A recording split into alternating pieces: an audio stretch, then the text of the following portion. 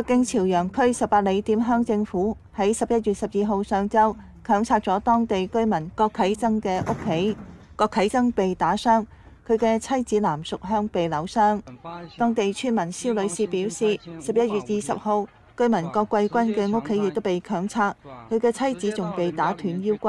強拆了几户吧，没谈，没通知说是让搬。郭启增他們家拆了，上月郭貴軍是强拆的，把人弄出来以后就进去，不把他爱人都打了吗？他爱人骨折了吗？这么大面积的强拆，我认为是上邊讓拆，接到他接命令了。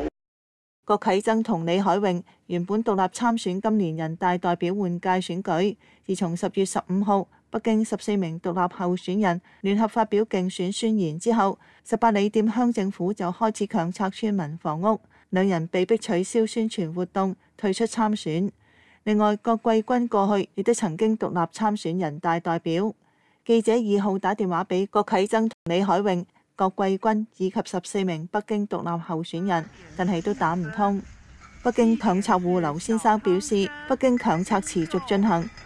佢屋企嘅祖屋係村裏邊集體土地起嘅合法房屋，但係喺二零一九年被區政府無預警強拆，到而家都投訴無門。